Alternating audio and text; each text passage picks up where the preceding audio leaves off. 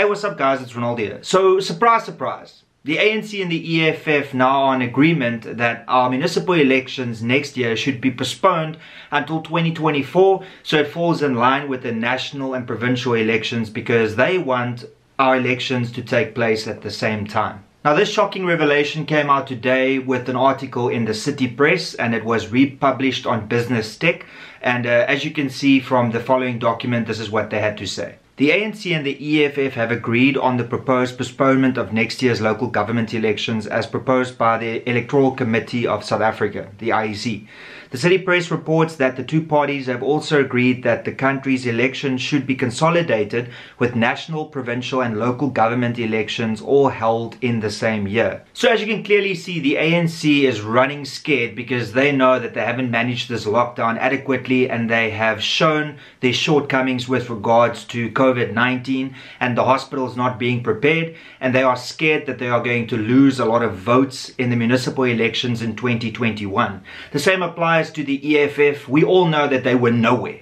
Councillors, members of provincial legislature, and members of parliament were absolutely nowhere during this lockdown and they know that they are going to lose their core supporter base because uh, the glaring holes in their ideology and also in, in their actions were exposed. So they want to postpone it until 2024 so that they can get momentum back on their sides. Because if we had to go to an election in 2021, the ANC and the EFF will be the two biggest parties that suffer because they have been exposed during this lockdown and during this pandemic for being exactly what they are political parties with a communist tendency that cannot work in South Africa or around the world. Now please understand that it's not cast in stone. This has to go through parliament and uh, the ANC and the EFF together will more than likely have a two-thirds majority in order to pass something like this.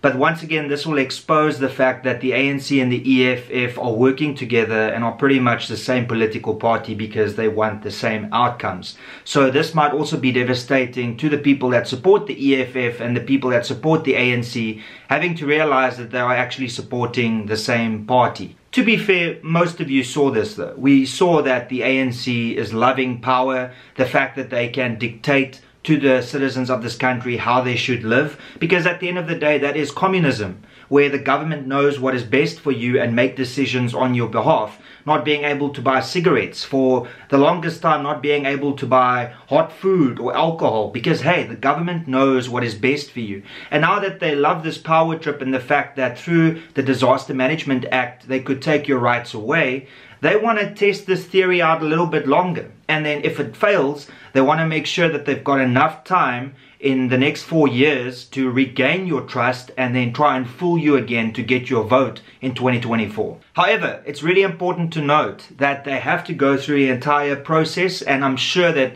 all other political parties will take this to the Constitutional Court and I'm convinced that the ANC and the EFF will lose that bid because there's a lot of things that needs to happen in order for them to postpone elections. It's one of the fundamental aspects of South Africa. It is what cements this democracy. And if the ANC and the EFF wants to spit or piss on it and want to just say, well, you know what, we'll postpone municipal elections by another three years so it aligns with the provincial and national elections, then they're going to have a tough time because that is the core base of what a democracy is, that you are allowed to go and vote every five years for the government that you want or the local administration that you want. So to end off this video, it's quite clear that the communist agenda is being furthered here by the ANC and the EFF in the sense that they don't want you to actually have rights. Because if we had to postpone next year's elections, that means that it'll be an additional three years before the citizens of this country can decide who they want to govern them locally. And that can unfortunately never happen. If that happens, then our democracy means nothing. And that's basically all I've got to say. If you enjoy my content, then please consider becoming a member. You can do so by clicking the join button below.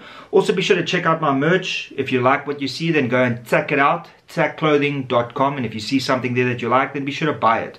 Also please be sure to subscribe and if you are subscribed hit that bell icon so that you can be notified of my future uploads.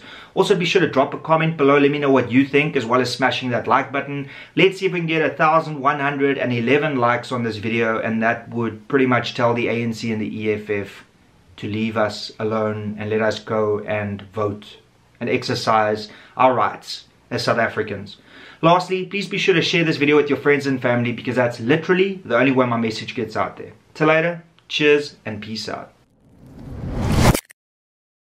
Wat ek het 'n goeie naam besing. Sing uh. sing, cool chat.